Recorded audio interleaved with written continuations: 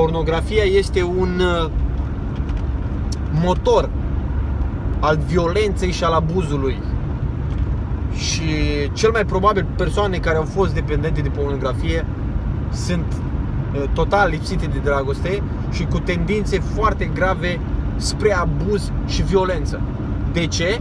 Pentru că pornografia uh, în ea însăși promovează actul sexual bazat pe forță, pe abuz, pe agresiune, pe folosirea uh, persoanei celelalte în postură de victimă.